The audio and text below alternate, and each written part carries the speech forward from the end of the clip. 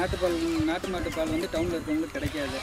அவங்க பார்த்தீங்க அப்படின்னா இந்த மாட்டை கொண்டு போய் வச்சுருந்தாங்க அப்படின்னா அவங்களுக்கு இடத்துக்கும் சரி தீனி வசதிக்கும் சரி இது வந்து அதிகமாக தீனி சாப்பிடாது. ஒரு ஆட்டுக்குட்டி சாப்பிட்ற தீனி தான் சாப்பிடும். பால் காலையில் ஒரு ஒன்றரை லிட்ரு சாயந்தரம் ஒரு ஒன்றரை லிட்ரு அவங்களுக்கு வந்து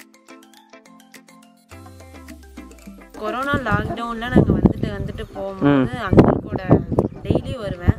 அந்த டைம்ல எனக்கு அதெல்லாம் கத்து கொடுத்தாரு. அப்புறம் எனக்கும் அது பிடிச்சிருந்துச்சு.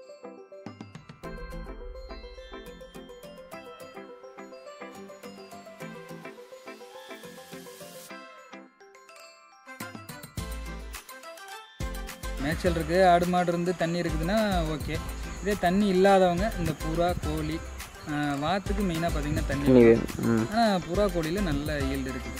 நல்ல வருமானம் சின்ன இடத்த வச்சு நல்லா சம்பாதிக்கலாம்.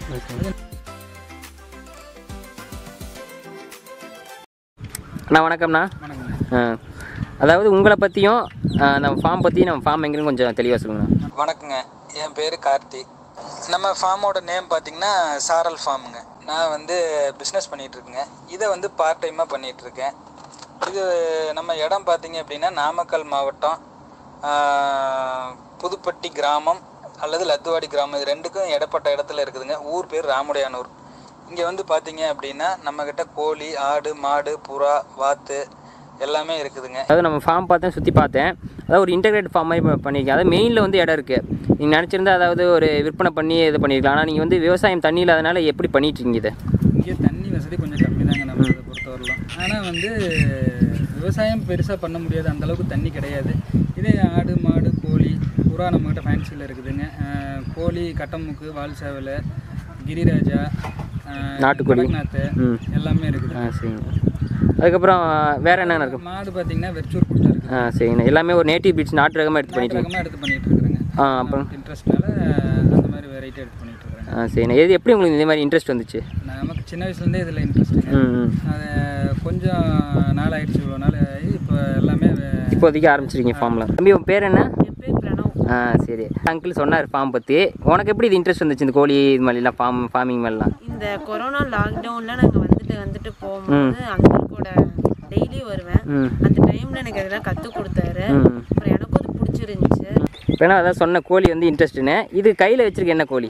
இது வந்து கட்டமூக்கு வால் சேவலும் ஆ ஓகே ஓகே இதெல்லாம் அங்கிள் கூட வந்து தெரிஞ்சுக்கிட்டீங்க. நம்ம தீவனம் கொடுப்பீங்க. நீங்களே நான் ம் ஆ, என்னென்ன போடுவீங்க? ம். ம் ம். அது மாதிரி அப்புறம் மேய்ச்சலில் போயிடும் கோழிலாம். ஆ சரி பரவாயில்ல பரவாயில்ல. அண்ணா நம்ம ஃபார்மில் வந்து வெச்சூர் குட்டை வச்சுருக்கீங்க. இதை இதை பற்றி கொஞ்சம் சொல்லுங்கண்ணா. இதை பற்றி பார்த்தீங்க அப்படின்னா இது அதாவது டவுனில் இருக்கவங்க கூட இதை நீட்டாக வளர்த்தலாம். அடக்கமாக இருக்கும். வீட்டோட இருக்கவங்களுக்கு இது நல்ல யூஸு நாட்டுப்பால் நாட்டு மாட்டு பால் வந்து டவுனில் இருக்கவங்களுக்கு கிடைக்காது. அவங்க பார்த்தீங்க அப்படின்னா இந்த மாட்டை கொண்டு போய் வச்சுருந்தாங்க அப்படின்னா அவங்களுக்கு இடத்துக்கும் சரி தீனி வசதிக்கும் சரி இது வந்து அதிகமாக தீனி சாப்பிடாது. ஒரு ஆட்டுக்குட்டி சாப்பிட்ற தீனி தான் சாப்பிடும்.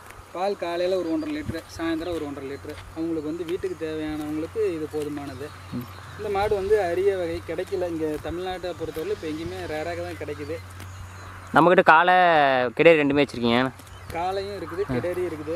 இது ரெண்டுக்குமே பார்த்தீங்கன்னாலும் உங்களுக்கு இப்போ ஒவ்வொருத்தவங்க ஒரு இதை தனியாக கேட்குறாங்க தனியாக கொண்டு போய் வச்சுக்கிட்டு அவங்க இதுக்கு வந்து சம்மன்லாம் தேடிட்டு அலைஞ்சிட்டு இருக்க முடியாது. அப்படிங்கிறவங்களுக்கு வந்து இந்த காளையும் இருந்ததுன்னா அவங்களுக்கு பெஸ்ட்டாக இருக்கும். ரெண்டு பேராக இருந்தால் வர்றவங்களுக்கும் பார்க்குறதுக்கு கொஞ்சம் நல்லாயிருக்கும் இது ஏட்டுப்பால் தான் இது நாட்டு மாடுனா இது ஏட்டுப்பால் தான். ஏட்டுப்பால் தான். தீவன செலவில் இப்போ மேய்ச்சல் இருக்குது நம்மளுது தீவன செலவு அவ்வளோவா ஆகாது. தீவன செலவு அதிகம் ஆகாதுங்க. நம்ம இது பார்த்தீங்கன்னா நம்ம இங்கே ஒரு மூணு ஏக்கர் இருக்கு. மூணு ஏக்கர் ஃபுல்லாக ஃபென்சிங் போட்டு மாடு அவுத்து விட்டு இங்கே மேய்ஞ்சிட்டு இருக்கு. நமக்கு பிரச்சனை கிடையாதுங்க. டவுனில் இருக்கவங்களுக்கே தீனி செலவுக்கு பிரச்சனை இல்லைன்னு நான் இல்லை. ஓகே காளையை பற்றி சொல்லுங்கள் எப்படின்னு? இதெல்லாம் இடிக்காது. நம்ம கிட்ட ரொம்ப பாசமா இருக்கும். அது இல்லாம அது யாரு வேணா தொடலாம். யாருக்கும் பயப்படாது. இது சின்ன குழந்தைங்க நானே எயித்து தான் என்னையவே இது ஒன்றும் பண்ணல ம் இது எ- எல்லா சின்ன குழந்தைங்கள இருந்து எல்லாருமே அதை தொடலாம் ஆ வேறு காளையாக இருந்தால் முட்டை இது அவ்வளோக்கு முட்டுறதில்ல. ம், இது முட்டவே முட்டை முட்டாது. அதான் அதான் அதான். சாஃப்டான கேரட்டை ஹேண்டில் பண்ணுற ஈஸியாக இருக்கும். இது ரொம்ப பாசம் நம்ம கிட்ட ரொம்ப பழகிச்சுன்னா இது ரொம்ப பாசமா பாசமாக இருக்கும். சரி ஓகே ஓகே நாட்டு மாடு உனக்கு பிடிக்கும்? ஆ ரொம்ப ம் ஓகே நான் கோழிகள் பற்றி சொன்னீங்க. இப்போ புறா என்னென்ன வெரைட்டின்னு வச்சுருக்கீங்க? புறா நம்ம கிட்ட ஒரு பத்து பன்னெண்டு வகையான வெரைட்டி இருக்குதுங்க. ம் சரி பார்த்தீங்கன்னா ஒரு பத்து வெரைட்டி இருக்கு. அப்புறம் மேற்கொண்டு சாதா புறா இருக்குது ஹோமர் இருக்குங்க. ம். இப்போ அதாவது கோழியும் புறா ஒன்றா வளர்த்தும் போது ஏதாவது நோய்கள் வரக்கு வாய்ப்பு இருக்குண்ணா? இல்ல அந்த மாதிரி நம்ம கிட்ட இது வரைக்கும் எதுவும் இல்லைங்க. என்ன புறாவுக்கும் அம்மா வருது கோழிக்கும் வருது வெள்ளை கழிச்சு ரெண்டுக்குமே வருதுங்க. அதுக்கு நம்ம ப்ராப்பரா மெடிசன் கொடுத்தோம்னா அந்த இல்லை. ஆ சரிங்க. சரி இந்த கூண்டு அமைப்பு எப்படிண்ணா? இது எதுக்காக போட்டீங்க? இந்த கூண்டு வந்து பாத்தீங்கன்னா போட்டது கோழிக்குன்னு மட்டும்தான் போட்டது. அதுக்கப்புறம் புறா வாங்கினீங்க. இப்ப புறா இருக்கிறதுனால இப்ப பேர் வந்து ப்ரீடிங் பேர் வந்து மாத்தி சேரக்கூடாதுங்கிறக்காக பேர் போடுறதுக்காக இப்போதைக்கு தச்சமே யூஸ் பண்ணிட்டு இருக்கேன். செலக்ட் பண்ணி போட்டது பேர்லாம். பண்ணி ஆமாமாங்க. இது இப்போ என்னன்னு கேட்டிங்கன்னா. ஃபுல்லாக பேர் மட்டும் சேர்ந்துருச்சு அப்படின்னா இதை புறா கொண்டு கொண்டு விட்டுருவோம் சரி எடுத்து காட்டுங்க என்ன ஃபஸ்ட்டு என்ன வெரைட்டின்னு பண்ணுங்க இது வந்து முஸ்கிங்க. முஸ்கியில் பிளாக்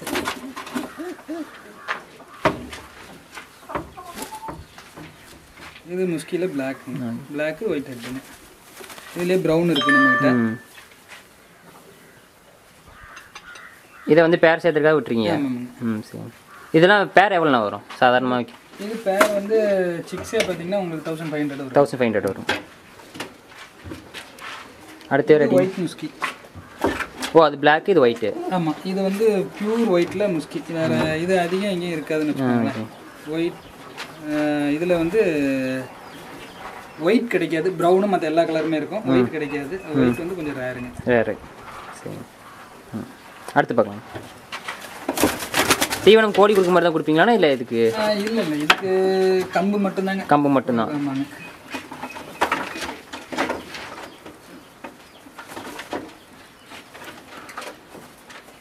இது பார்த்தீங்கன்னா பியூட்டி ஹோமருங்க பிடி ஹோமர் ஆமாம்மாங்க இது கையில் ஒரு கையில் ஒரு ஆள் பிடிக்க முடியாது. ஹோமர்னா கொஞ்சம் பெருசாக இருக்குமாங்கண்ணா? ஆமாங்க. இது வந்து மூக்கு பாருங்க நம்ம ஹோமர் வந்து பறக்கிற ஹோமர் வர இது அழகுக்குன்னு வளர்த்துறது. ஓ சரிண்ணா சரிண்ணா. நல்லா சைஸ் கொஞ்சம் வருங்க.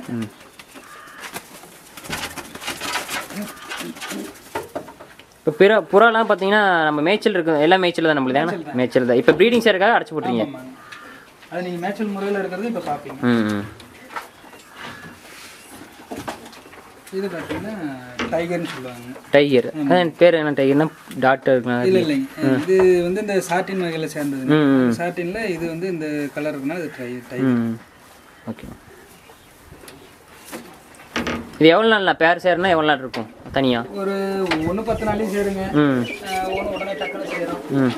அது ஒரு ப்ரீடிங்கை பொறுத்துங்க. இப்போ வேற புறால ஜதை சேர்ந்துருந்தா அதை கொண்டாந்து போட்டோம்னா ஜதை சேர்றதுக்கு நாள் ஆகும் கொஞ்சம் டக்குன்னு சேர்ந்துரும். இது பார்த்தீங்கன்னா பிலிகேஷன் டம்ளர்னு சொல்லுவாங்க. ஆ ஓகே இதெல்லாம் எல்லாமே ஒரே ரேட்டு தான் வருவாங்கண்ணா? இல்லை இல்லை. இது கொஞ்சம் ரேட் அதிகம். ரேட் அதிகமாக இருக்கும். எதனாலண்ணா இது? ரேட் அதிகமா? என்ன இது அழகா இருக்குது. ம். கொஞ்சம் வித்தியாசமா இருக்குது. வித்தியாசமாக இருக்கனால கொஞ்சம். ஓகே கோழிக்கெல்லாம் அப்படியே வைக்கபிள் போட்டு அரை அரையா தடுத்து விட்ருவாங்க கோழி அடையிலே வச்சுருவீங்க? அடா இதுலயே வச்சிருவோம். இங்கே ஒரு பேட்ச் இருக்குதுன்னா ஒரு பேட்ச் ஆ சரிண்ணா. எத்தனை அறை இருக்குண்ணா மொத்தம் அந்த கூண்டில்? இதில் மட்டும் கீழே கீழே இங்கே மூணு இங்கே ஒரு நாலுங்க. ஏழு.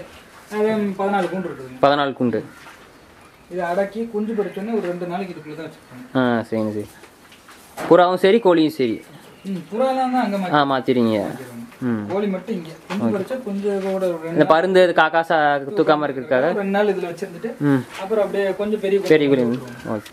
அண்ணா இந்த கூண்டோட அமைப்பு சொல்லுங்கண்ணா. எப்படி இந்த அறை போட்டிருக்கீங்க? அதை கொஞ்சம் இது வந்து பார்த்தீங்கன்னா ஃபுல்லாக ஸ்லாப்பு நம்ம ஆலா பிளாக் கல்ல வச்சு ஃபுல்லாக ஸ்லாப் வச்சு அரை அரையாக தடுத்து விட்ருக்குங்க இதில் என்னென்ன வகையான புறா இருக்குண்ணா இதில் வந்து பார்த்தீங்கன்னா ஹோமரு சாதா புறா இருக்குதுங்க. ம். என்ன கொஞ்சம் இந்த பியூட்டி புறாவும் கொஞ்சம் கொஞ்சம் இருக்குது. அதெல்லாம் பேர் தனியாக நீ சேர்ந்து சேரும்போது அங்கே அங்கே கூண்டில் சேர்த்துப்பீங்க அந்த கரெக்டாக அந்த டைம் எடுத்து வச்சிருவீங்க. ஆ சரி. நான் அப்படிலாம் இது கிராஸ் பீட் ஆகக்கூடாதுன்னு எடுத்து வச்சிருவீங்க. எடுத்து வைக்கிறது பண்ணுறதுங்க இப்போ எல்லாமே வச்சிருக்கும் போது அது நம்ம கரெக்டாக பராமரிக்க பண்ணணும் இல்லை கிராஸ் பீட் ஆயிருந்தாங்கன்னா நம்ம கரெக்டாக எடுத்து பண்ணணும். கண்டிப்பாக பண்ணணும். இல்லைன்னா நாட்டுப்புறா வந்து இப்போ சாதா புறா வந்து ஃபேன்சி புறாவோட சேர்ந்துரும். சேர்ந்துரும். அப்புறம் மேலே நம்மளுக்கு அது லாஸ் தான் ஆகும். ஆ சரி. கரெக்டாக மெயின்டெனன்ஸ் கரெக்டாக இருக்கணும். கரெக்டாக இருக்கணும். ம் சரி. இப்போ இதுக்குள்ளே பார்த்தீங்கன்னா அரைன்னு பார்த்தீங்கன்னா ஒரு நூறு அரை இருக்குதுங்க ம் சரிண்ணா இரநூறு புறா தங்குற அளவுக்கு இருக்கு. ஆ ஆ. இதெல்லாம் மேய்ச்சலுக்கு போயிட்டு வந்து உள்ளே வந்துடா மேட்சலுக்கு போயிட்டு உள்ளே வந்து எல்லாமே ஆ. உள்ள நல்லா கூலிங்காக இருக்குங்கண்ணா. இந்த ஸ்லாப் எதுக்கு வைக்கிறதுனா இந்த ஸ்லாப் இருந்தா உங்களுக்கு கூலிங் இருக்கும். நீங்க அட்டையே போட்டிருந்தா கூட கூலிங்காக தான் இந்த ஸ்லாப் போடுறது ஒவ்வொருத்தரும் ஒவ்வொரு டைப்ல போட்டிருப்பாங்க. பானை சொல்லுவாங்க. பானை மாதிரி இது கொஞ்சம் நல்லா கூலிங்கா இருக்கும். இது பர்மனண்டா இருக்கும். உங்களுக்கு எந்த காலத்துலயும் உடையாது எதுவும் ஆகாது. எந்த பிரச்சனையும் வராது. அதுக்காக தான் கொஞ்சம் ஃபர்ஸ்ட் டைம் ஒரு டைம் செலவு பண்ணி போட்டாலும் இது எத்தனை வருஷம் ஆனாலும் இப்படியே இருக்கும். ஒன்றும் பிரச்சனை இல்லைன்னு வைங்க. இப்போ நாட்டுப்புறா வைக்கிறதோட இப்போ ஃபேன்சி ஐட்டம்ஸ் வந்து நல்லா விரும்பி வாங்குறாங்க. ரேட்டும் அதிகமாக போது ஓரளவுக்கு விற்பனை பண்ணிடலாம். கோழி அதே முட்டை ஏறி விட்டுட்டு அதே அடைப்படுத்து குஞ்சு பறிச்சுக்கிற வரைக்கும் அங்கேயே தான் நம்ம வைக்கப்புள்ள மட்டும் போட்டு மாற்றி வச்சிட்டோம்னா அது நம்மள எந்த தொந்தரவும் கிடையாதுங்க. அதுக்குள்ளே முட்டை விட்டு அடப்படுத்துக்கும் அதே முட்டை விட அதே அங்கேயே அடப்படுத்து நம்ம போய் அது முட்டை விட்டு குஞ்சு பறிக்கிற வரைக்கும் நம்ம டிஸ்டர்ப் டிஸ்டர்ப் பண்ணக்கூடாது. ஓகே இந்த கோழிகளுக்குமா? அதே மாதிரி எல்லாமே கோழிங்களுக்கு புறா கோழி பற்றி சொன்னீங்கன்னா அதை தவிர என்னென்ன இருக்குது வாத்து இருக்குதுங்க. இது என்ன வகையான டைப் மணி வாத்துங்க மணி வாத்து ஆமாங்க இந்த மணிலான்னு சொல்லுவாங்கண்ணா அந்த டைப் இது எத்தனை ஃபீமேல் மேல் எத்தனை இருக்குது நாலு ஃபீமேல் தாங்க இருக்குது. மேல் வந்து இன்னும் எடுக்கலைங்க. அதாவது நீங்கள் ஃபேன்சி ஐட்டம்ஸ் எடுத்துட்டீங்க. இப்போ நாட்டு வாத்து வச்சுருந்தீங்க. நாட்டு வாத்து ஒரு முந்நூறு வாத்து இருந்ததுங்க. இப்போ தான் எல்லாம் ஏற்றி விட்டுதுங்க. இப்போ அடுத்த பேட்ச் ஒரு ஒரு வாரத்தில் வந்துருங்க. ம் சரிண்ணா இப்போ எப்படி முட்டைக்கு- வேணும்னாலும் நம்ம கிட்ட எடுத்துக்கலாம். எடுத்துக்கலாம் முட்டை எடுத்துக்கலாம். அதே மாதிரி உங்களுக்கு சிக்ஸாக வேணும்னாலும் எடுத்துக்கலாம். சரி தீவனம் இது மாதிரி கொடுத்தீங்க. கோழிக்கு போகிற தீவனம் தான் இதே மாதிரி. இல்லை இது கோழிக்கு போடுற தீவனம் கொடுத்தோம்னா இது பெருசாக கட்டுப்படி ஆகாதுங்க. இதுக்கு வந்து அரிசி தீவனம் கொஞ்சம் மிக்ஸ் பண்ணி வச்சுருவாங்க. இது வந்து கோழிக்கு போடுற மாதிரி கம்பு கோதுமை இதெல்லாம் போட்டோம்னா வாத்து சாப்பிட்ற தீனிக்கு இது கட்டுப்படி ஆகாது. ஆகாது. ஆமாங்க. அப்புறம் மே மற்றபடி வெளியில் திறந்துட்டோம்னா அதெல்லாம் இந்த மேய்ச்சல் முறையில் போய் இந்த இது சாப்பிடுவோம் இப்போதைக்கு மதியானம்லாம் அடைச்சி வச்சிருக்கீங்க. வெயில் டைம்ல அதே உள்ளே மாட்டோம் அதே உள்ளே வந்துடும் அப்புறம் ஈவினிங் ஆனால் வெளியே இது சிக்கெல்லாம் பேர் எவ்வளோண்ணா வரும் சிக்ஸ்லாம்? இது சிக்ஸ் பேர் ஃபைவ் ஹண்ட்ரட் வருது. ஃபைவ் ஹண்ட்ரட் வருது. நான் அதாவது மேய்ச்சல் முறையில் மாடு சொன்னீங்க அதை தவிர என்ன மாதிரி தீவனம் கொடுத்துட்டீங்க தீவனம் எப்பயும் போலங்க தட்டு இருக்குது.